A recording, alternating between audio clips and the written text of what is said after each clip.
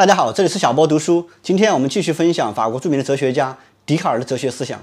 那前面的视频我们介绍了笛卡尔《方法论》这本书的主要内容。那接下来我们今天开始介绍笛卡尔的另外一本经典著作，那就是《第一哲学陈思集》。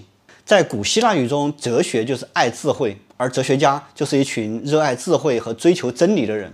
我们都知道，哲学是对人类最基本、最普遍问题研究的一门学问，是研究知识中的知识。比如宇宙的本源、人性的善恶以及人类社会伦理道德等等。那如果我们所追求的真理最基本的这些命题出现了错误，那我们应该如何发现并且清理它们呢？那这本《第一哲学沉思录》就回答了这个问题。比如世界是由什么构成的？人的心灵的本质是什么？物质的本质是什么？上帝是不是真的存在？这些最基本的问题，我们都需要重新审视，并一一证明它们的正确性。那今天我们就来聊一聊人类心灵的本质到底是什么。古希腊哲学家、数学家和物理学家阿基米德曾经说：“给我一个支点，我就能翘起整个地球。”但这句话前提需要有一个稳定和可靠的支点。笛卡尔认为，在哲学上也是一样的。如果我们能找到一个可靠的、稳定的和确定的支点的话，那我们将可以推导出很多伟大的东西。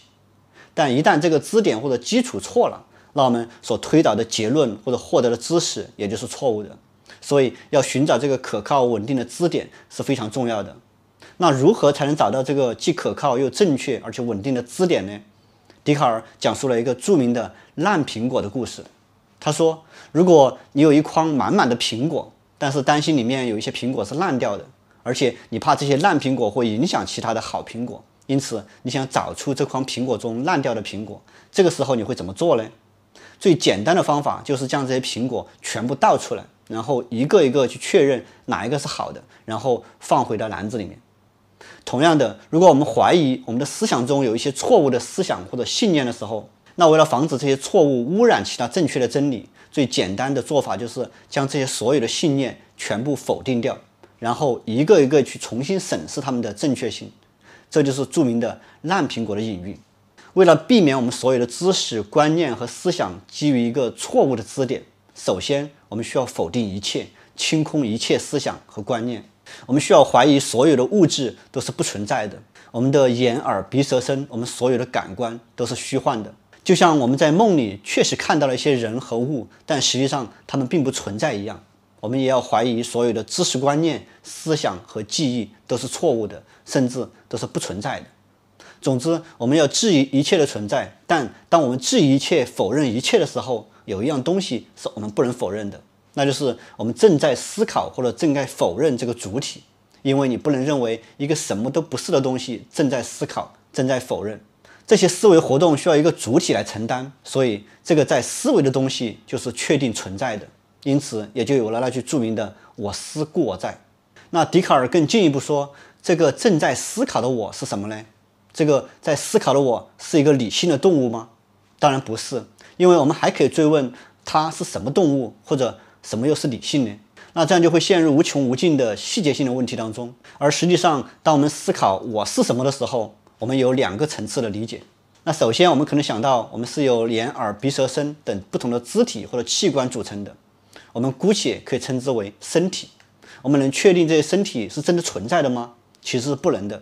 因为我们在梦里的时候，我们同样也可以看到和感觉到身体的存在，甚至感觉到光和热，但实际上这些东西是并不存在的，所以我们并不能确认我们的身体是作为一种物质而存在的。其次，我们可以用感官去感知，用大脑进行思维活动，而这些行为或者说能力的主体是什么呢？作者称之为心灵。那心灵又是什么呢？它有什么样的本质属性吗？我们的肉眼是看不到心灵的。我们暂且可以把它想象成为一种极其稀薄的精细的东西，就像风和火或者气味一样，它是虚无缥缈的，还不占任何的空间。那我们如何确定它的存在呢？笛卡尔说，正是思想或者思维活动，让我们可以确定心灵是存在的。因为思维活动需要一个主体来承担，你不能认为一个什么都不是的东西正在思考。因此，我们可以说，通过我们正在思维这个活动，就可以证明我们的心灵是可以存在的。而且这种存在比身体的存在更加稳定、可靠和真实。这种确定性的根源是我们的心灵是有思维能力的。而且笛卡尔进一步说，思维和我们的身体的结合让我们产生了思维活动，用眼睛去观察世界，用耳朵去倾听世界，用所有知觉系统去感知外界。这就是说，心灵的本质是思想，是思想让心灵得以存在。如果我们停止了一切思维活动，那么我就不再存在了。甚至严格意义上说，我只是一个思维的东西。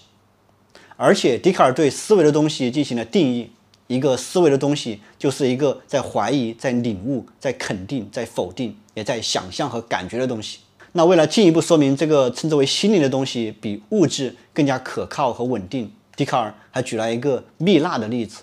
当蜜蜡从蜂房里面取出来的时候，它的颜色、形状、硬度和味道，甚至敲击的声音。都可以通过我们的感官系统感觉到，但是当这块蜜蜡放到火炉旁边加热之后，它开始融化变成液体，它的颜色、气味、形状都变了。但是我们仍然清楚的知道这块蜜蜡还是以前那块蜜蜡。